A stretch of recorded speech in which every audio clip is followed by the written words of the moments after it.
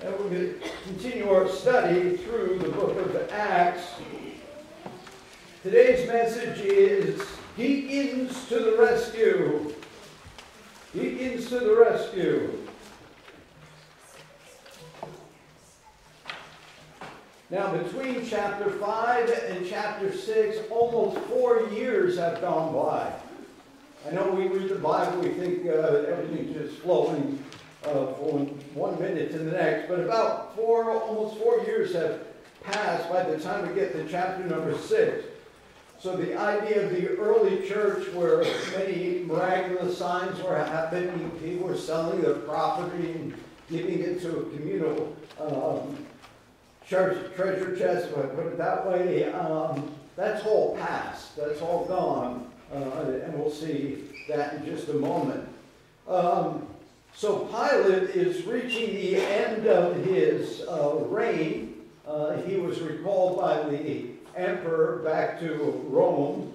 Um, I believe in modern vernacular we call it, he got fired.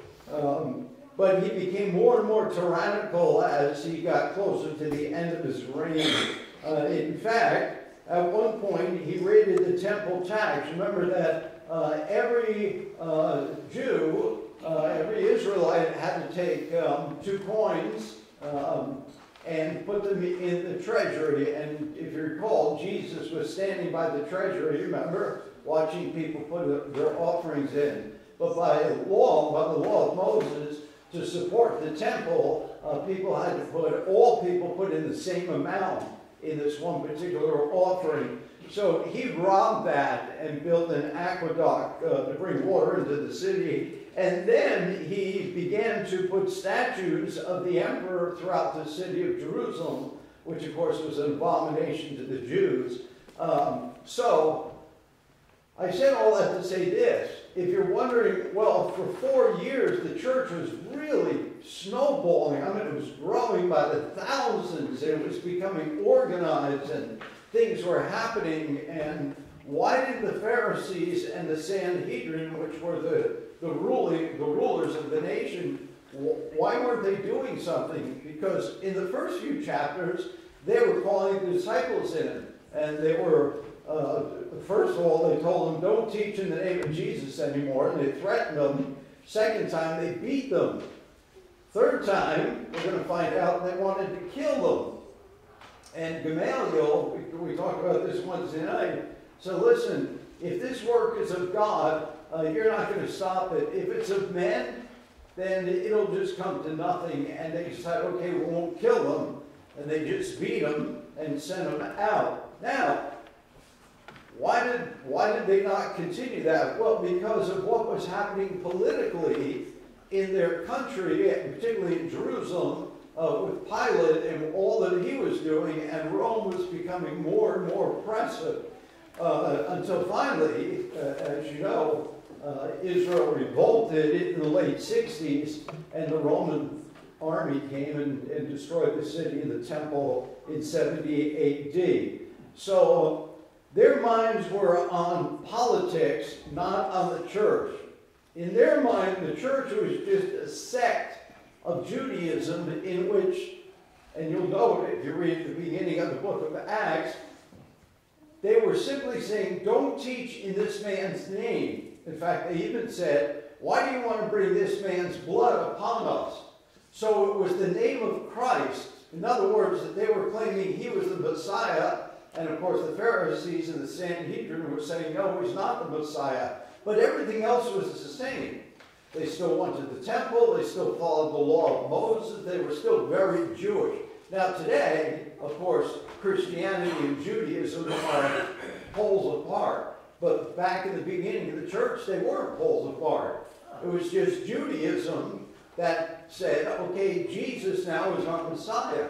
And these people were saying, no, he's not but everything else remained the same for a, a, a length of time. Now things are starting to separate. So here we get to chapter number six. We discovered that there's a conflict now in the church, which is a whole lot different than chapter two, where everybody had all things common, and they were all singing kumbaya, and everything was lovey-dovey, now conflict arises. Have you ever noticed there's conflict in life? In fact, if you don't have any conflict in your life, I'm not sure you're living a normal life. There's conflict in life, and we see that conflict comes into uh, the church here. Um, nobody that I know likes conflict or confrontation that comes along with trying to resolve the conflict.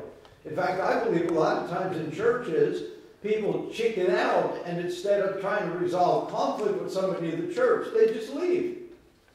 Because it's easier to just leave than to face somebody and say, You offended me, or you were wrong, or you hurt me. We could use stronger language, but we won't. You're a jerk. Things like that. You rubbed me the wrong way. So we tend to not want to confront people. Nobody likes to do that. Nobody likes to be ordered by the IRS, right? Nobody likes to confront people. Nobody likes confrontation. Um, so, uh, generally speaking, we avoid confrontation. I recall reading this, and maybe you've heard this before, but in 1919, Lady uh, Nancy Astor became the first woman in the House of Commons in uh, England. And she was known for her biting tongue and her quick wit. And her equal in that department was Winston Churchill. And their personalities clashed. They hated each other. And after one contentious uh, session in Parliament, um, Nancy Astor said, Winston, if you were my husband, I would put poison in your coffee. And Winston came right back and said, Nancy, if you were my wife, I'd drink it. Confrontation. So we get to chapter number six. Notice verse number one. And in those days, when the number of the disciples was multiplied, there arose a murmuring of the Grecians against the Hebrews, because their widows were neglected in the daily ministration. Let's pray. So here, the early church had obviously conflict, and the conflict was racial. So the Jews that spoke Hebrew were opposed to the Jews that only spoke, it says Grecian here in my translation, but those that were residents of Palestine, the Samaritans, those that uh, came from elsewhere, uh, those that were uh, steeped in the, the Greek culture, uh, they spoke either Greek or Aramaic. And so, and Jesus, by the way, spoke Aramaic as well. So there was this contention. There was always that contention. It was always that, you know, what's the matter with those Jews? Why don't they speak Hebrew? When I went to uh, school, uh, in fact, uh, the ninth grade, and then 10th grade went into the high school building, um, my uh, community that I grew up was uh, a large Jewish population, and kids right after school would go to Hebrew school. So they'd get out of school, they'd walk across the street to the temple, and they'd learn Hebrew. So Back in those days, the people that spoke Hebrew were kind of proud and said, We speak Hebrew, it's better to speak Hebrew, and you that speak Greek and you don't know Hebrew, you're not as good as us. So there was tension. That tension came into the church. So when they got saved or they accepted Christ as their Savior, they brought that pride or arrogance into the church. And by the way, it worked in both directions.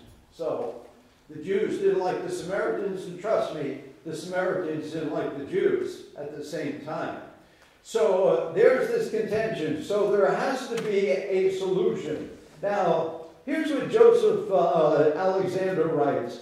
He says, the whole class of foreign or Greek-speaking Jews, as distinguished from the Hebrews or natives of Palestine, and others who used the Hebrew scriptures and spoke the Aramaic dialect, between these races there was no doubt constant jealousy or emulation. although no real difference of faith or practice. This party spirit may seem to have been carried with them into the Christian church on their conversion. And I believe that. So a person that's a racist and they become a Christian, well, that's baggage that comes into the Christian life that they have to overcome. And of course, all of us have baggage of some sort as we come into the Christian life. But notice verse number one here. I want to show you something. And that is this that this verse confirms that there's no absolute community of goods here any longer. So in chapter 2, when people are selling their property or their homes, and they're bringing the money to the apostles, and they're saying, Here you go, just distribute it to those in need, notice that there's no place here where these people can just go and get food. So why didn't the Greek widows just go and get food at the common table? Because it wasn't happening any longer. So we understand that a change has taken place over these past four years. Then verse number two. Then the twelve called the multitude of the disciples unto them and said, It is not reason that we should leave the word of God and serve tables. Therefore, brethren, look ye out among you seven men of honest report, full of the Holy Spirit and wisdom, whom we may appoint over this business. Now, notice what we have here is that church government is now coming into play. So before it was strictly the apostles teaching and preaching the multitudes, generally in the temple and house to house. Now what happens is a conflict comes up. There's a problem in the church. We have to resolve this problem. So the disciples decided, or the apostles decided, in verse 4, we shall give ourselves continually to prayer and in the ministry of the word. So we feel that Christ told us, go into all the world and preach the gospel, or actually preach the gospel, teach all people, make disciples of them, and baptize them. We don't want to take the time to do this practical aspect of the church life. So you choose out seven men, and they'll take care of this issue. So now we have organization coming into the church.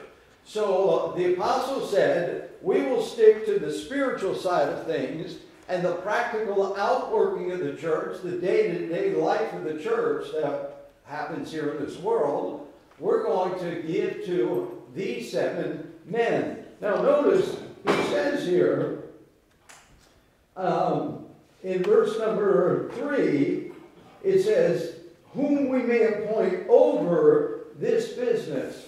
Now, in my thinking, they chose seven men because how many days a week do you eat? Seven days a week. Seven days a week. So I believe one of each of these men was in charge of a, particular day. And I think they took that from the work in the temple. That was on a rotating basis. So people that came and ministered in the temple, it happened on a rotating basis. So I think the same idea. So one, one of these deacons would take Monday, the other would take Tuesday, so on and so forth. Now notice they're over this business.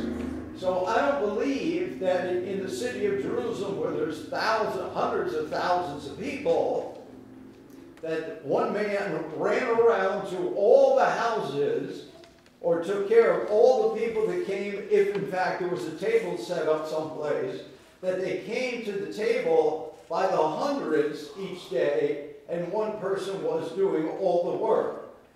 I believe that the person in charge got help. Do I think that they then went home and sat down and said, There, I delegated it, and so um, I'm done?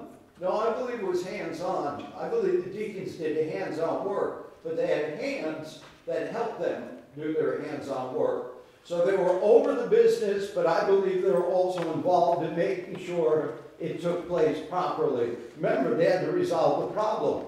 If they just hired, if I just hired Gary, and he's a deacon by the way, if I just hired Gary and Dennis um, and said, okay, you two guys, on Mondays, you two guys go to the table and make sure that all the widows get the food that they need. And then I go home. How do I know that they're not still just giving food to the Hebrew widows and not the Greek widows? You say, well, they probably would have picked. Oh no, the church already picked the spiritual guys. So I'm thinking, okay, is he only going to pick spiritual guys? Probably so, but not necessarily so. Just going to pick people willing to help, people willing to sacrifice time.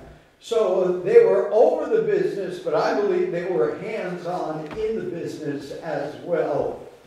Um, so they have these deacons now.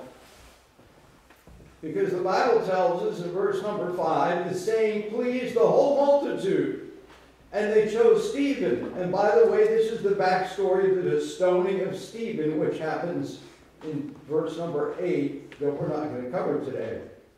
So they chose Stephen, a man full of faith and of the Holy Spirit, and Philip, uh, and uh, Prochorus, and Nacorn, uh, no, Nicanor, uh, I'll get it, Nicanor, and Timon, and Tarmias, and Nicholas, and a, who was a proselyte of Antioch, whom they set before the apostles. And when they prayed, they laid hands on them. And the word of God increased, and the number of the disciples multiplied in Jerusalem greatly, and a great company of, and you can underline this next word, a great company of priests were obedient to the faith. So now some of the priests were starting to accept Jesus as Messiah, which I believe was really the nail in the coffin, so to speak, where the ruling class said, we really got to clamp down on this church now. We have to do something about it. And it begins with the stoning of Stephen. Now, let me give you a heads up because we're going to cover this Wednesday night. If you recall, when the Romans controlled the city or the nation, you weren't allowed to put people to death. That's why the Jewish leadership brought Jesus to Pilate. Only Pilate can condemn somebody to death under Roman law. And yet, they stoned Stephen. Why? What's the difference? Well, here's the difference because Pilate was called back to Rome and nobody new had showed up yet. So in the interim, there's a little disconnect here, politically speaking, and they utilized that opportunity to kill somebody, which normally they couldn't do. So just giving you a heads up, because I know you had that question in your, your mind when you're reading through Acts. You say, hey, how come they couldn't, couldn't kill Jesus, but they killed uh, Stephen because there's a political turmoil going on in Rome. All right, I want you to turn to 1 Timothy chapter number 3. 1 Timothy chapter number 3. So they they voted on seven guys, and I, I believe I mean there's differences of opinions, but I believe the most logical one is one man was over each day and then the same day each week. So the apostle said, here's the criteria for these men. Now, as the church developed, obviously Paul, through the revelation of the Holy Spirit, got more criteria for the deacons. We're going to look at that. But first, we're going to look at the criteria or the qualifications of the pastor. So in 1 Timothy chapter 3, Paul is writing to Timothy, who is a pastor, and Timothy is going to ordain other men to be pastors and deacons, and this is the instruction. This is a true saying. If a man desires the office of a bishop, don't forget, bishop, pastor, elder, all the same position. I know those churches would say, well, there's the group of elders and they control. No, no, no. We believe the pastor is the under shepherd, Christ the head of the church, the pastor the under shepherd. The deacons were brought into the church for the reason of what? Servicing who? Widows. That's why the first deacons were brought into servicing the widows. So I believe to this very hour, one of the main considerations of the deacons is how are the widows doing in our church? Do they live alone? Do they have enough to eat? Are they living only on Social Security? By the way, I already suggested this. I think the church ought to take widows that are living on Social Security and give them a check. You say, that's unheard of. Yes, it is unheard of. But I think it's normal. You say, well, they have children that can support them. We're talking about widows in need, widows who don't have anybody to help them, and they're living on Social Security. Now, I know our current president is going to give us all a big raise in Social Security, but unfortunately, I'd rather have prices remain the same and don't give you the raise in Social Security. Because Social Security is never going to catch up to inflation. So, if a man desires the office of a bishop or pastor, he desires a good work.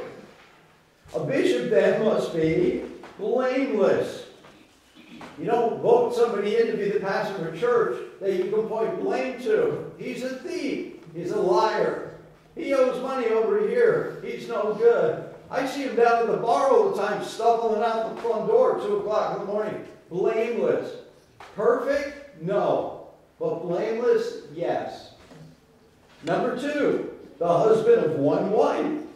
I believe they were addressing polygamy in those days because men would marry. In fact, that's one of the major issues when you convert somebody in an Islamic nation and they have more than one wife. What's the, what's the Christian man now do with all those other wives? Ah, we don't have that problem here. You say, Pastor, what's the solution? The solution is we don't have that problem here. That's the solution. So the husband of one wife, I know some people say that uh, a man that's divorced, um, if he gets remarried, he has another wife. Well, there's a scriptural reason to get divorced, uh, fornication, adultery. And so if you legally get, I'm talking spiritually here, legally get uh, divorced and you get remarried, then I believe that man can be a pastor. Now, if he's been married five times and he just divorces women and remarries women, that, that's a character problem, maybe. So, anyway, so I believe you're dealing with polygamy here. So the husband of one wife, or the literal Greek translation is a one-woman man. Mm. He must be vigilant, sober, that means sober-minded. He must be of good behavior. I'm, I'm pretty good. I'm pretty good. My version says, must be pretty good behavior. Good behavior, given to hospitality, apt to teach, not given to wine, not a striker. In other words, a brawler, somebody that's willing to, uh, you know, take care of confrontation the way I did in ninth grade. Pow! I noticed too, when you hit somebody, they always hit back. Not good. So, uh, not a striker, not greedy of filthy lucre. In other words, not greedy of money. And of course, there's a warning about money uh, throughout the scripture. Not, uh, but patient, not a brawler. That kind of goes along with a striker, but not a brawler. In other words, somebody that does argumentative. You ever meet somebody that you know always escalates to an argument? You have a problem. And not a covetous. In other words, uh, constantly desiring you know, a new jet. I don't want a new jet. I'm satisfied with a used jet. That was a joke. I'm just satisfied with a Piper Cub, a helicopter. I'm satisfied with what I've got. Not covetous, one that rules his own house, having his children in subjection with all gravity. Why? Because if a man does not know how to rule his own house, how shall he take care of the church of God? Good point. Does that mean his kids are perfect? Well, I, I confess to you publicly, my kids are not perfect. Are your kids perfect? I don't think so. You may think so, but they're not perfect. And I can tell you, when you know they're not perfect, when they're 14, 15, 16, and 17, all of a sudden, all that cuteness kind of fades away. So, uh, Number six, verse number six, not a novice, not somebody that just got saved, not somebody that's new to the, to the uh, faith, lest being filled up with pride, he falls into the condemnation of the devil. So I met a man at college after I was done preaching. He said, uh, church is going to hire me as soon as I graduate college. I thought, wow, that's, that's exciting, you know. And I said to him, uh, well, so you have an interim in your church. An interim for four years is a long time to have an interim pastor. But uh, apparently they, they've agreed to that. But the Bible tells us you don't take somebody that's brand new. So fortunately, and this happened in a class when I was in Bible college, a church hired a student, a, a fellow student in my class, after two years of Bible college, and said, we want you to be the pastor. So he quit Bible college and became the pastor. Even back then, I was thinking, that's probably not a good idea. Of course, I was older than many of the classmates, but um, so this, this, kid, you know, was probably 19, 20 years old, and uh, becomes the pastor. I said, he probably should finish college. And he didn't. He became the pastor because the church wanted him. So we want you to be the pastor. We don't like our old pastor. We want you to be the pastor. You know what it reminded me of? You lost your boyfriend and you got a new boyfriend. And what's that new boyfriend called? You got him on the rebound. The rebound. Thank you. You got him on the rebound. It's not like you really wanted another boyfriend, but he'll do because I'm feeling bad about the broken relationship. So they got this kid on the rebound to me. You say, was it a happy ending? No, it was not a happy ending. So he lasted there, I think, about a couple of years, and then out he went.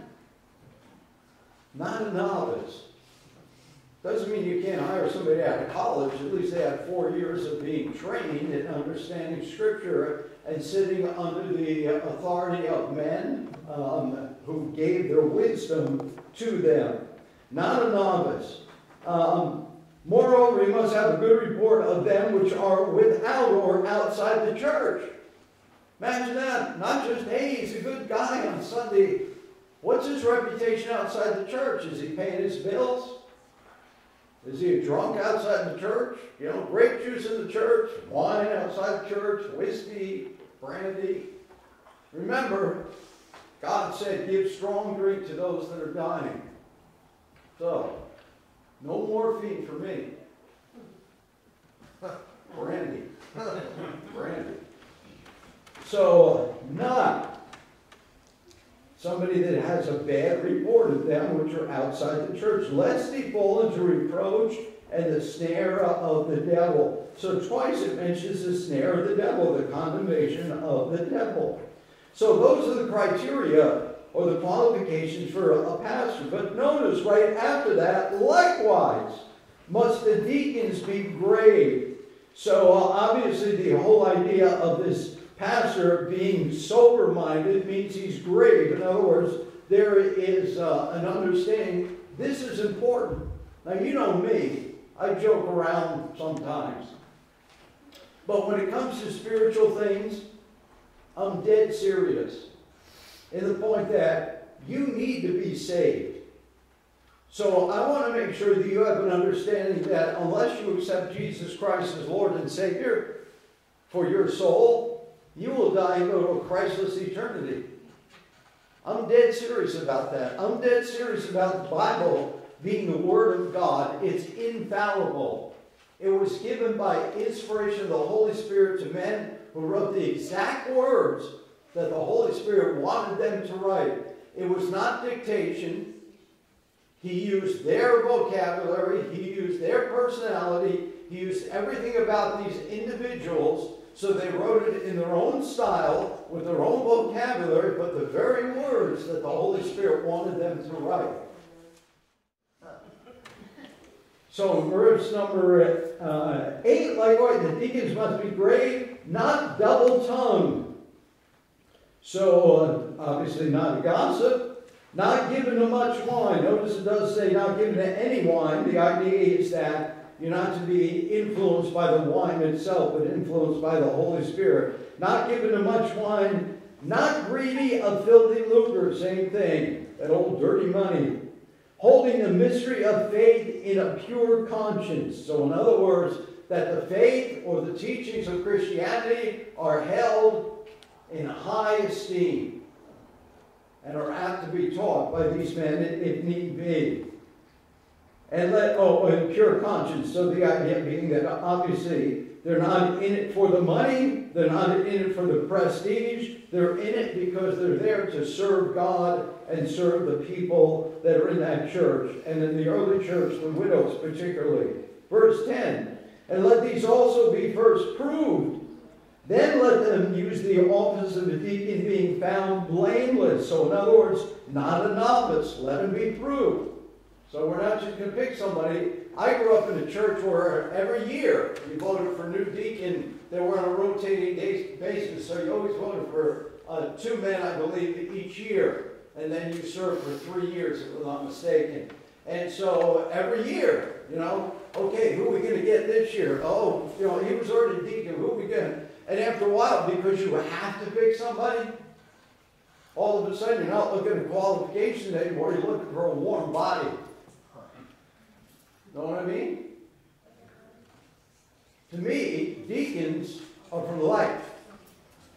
There's only two ways you can't be a deacon. Number one, you get fired. Number two, you die. That's it. You die.